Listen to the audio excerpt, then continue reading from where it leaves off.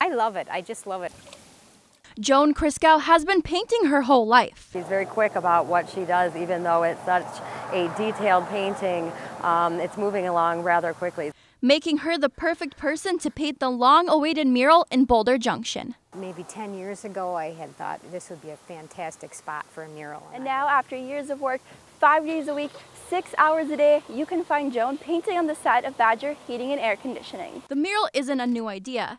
People in the town have been working on plans for years. I started at the chamber back in 2005, and at that point, there were sketches and drawings of what could possibly be put um, on the mural. Work finally started June 1st. Coming up with an actual drawing, I think they made it a little more real. And will highlight the best of Boulder Junction. The musky fishing and the biking and the canoeing and eagles and deer and we've got a little bit about yeah. a little bit of everything. Joan expects to have the mural finished at the end of the month. It starts out like this and it's perfect.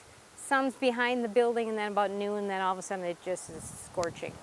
As long as the weather cooperates. We're covering the news in Boulder Junction. Rachel Niemi, Newswatch 12.